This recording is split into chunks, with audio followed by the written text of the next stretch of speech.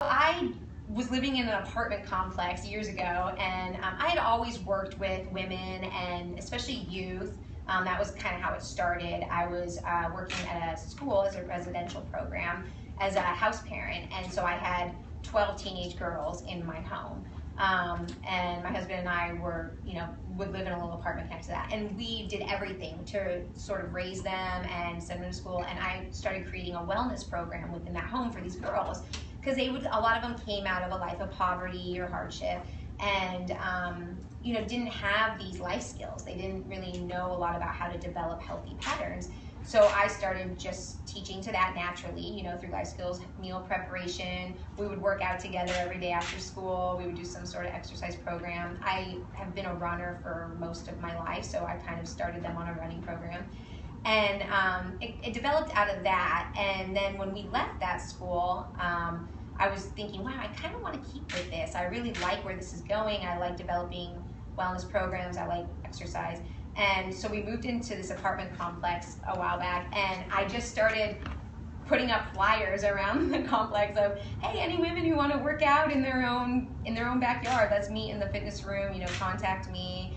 And um, so I had a number of bites, and I would meet them down in the apartment gym, fitness room, and we would start working out, and then I would kind of create this program through based on what they needed specifically. And they're always tailored to the client. So I don't really have one size fits all. It's very much like what does this woman need right now and how do we get it.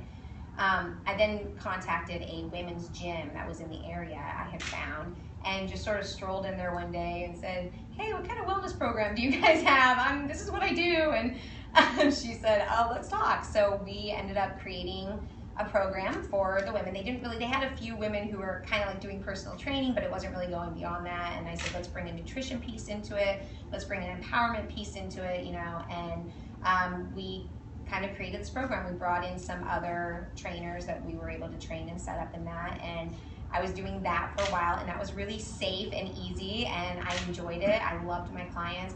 But as time went on, I realized, okay, this is, I'm kind of complacent here. This is pretty easy, and I feel like maybe I need to be doing a little bit more. And um, and she gave me free reign, so it wasn't you know that it was just I just felt like it would need to be more.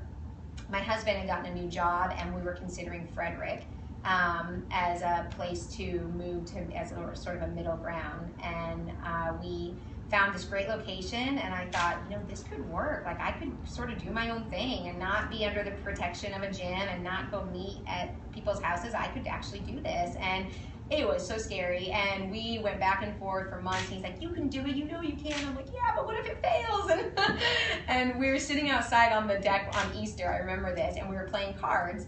And I said, okay, if I flip down a five, then we'll just move to Frederick and do it. And I flipped down a five, and I oh threw the whole deck. I was like, oh my god, yeah. and yeah, I couldn't believe it. And um, and he said, what do you think about that? And I'm like, I think that we need to just do it then, you know. And um, so we made plans, and like two months later, we had moved into Frederick, and I set up my studio there, right on um, on Easton Patrick, right by Chavreau, Everedy Square and I just started hitting the streets and meeting people, meeting a lot of the entrepreneurs. You know, most of the shops over in Everedy Square are women's focused. You know, there's clothing and salons and spas, and I thought this is perfect. This is my market. This is my audience, and so yeah, I just started meeting all the owners there and putting my business cards everywhere, and it is just taken off. It's incredible. And honestly, I sit there sometimes and like, I really am not doing anything. This is just happening. I'm just doing what I do, you know? It's amazing. Um, so yeah, in a nutshell, a very big nutshell. That's how. No, that's that's that's amazing. Yeah. We'll pause for just one second. Thank you. Yeah, absolutely. Um, Miss Melanie is going to take. Uh, Melanie, this is Liz. Hi. Nice to meet you. Welcome. Thank you.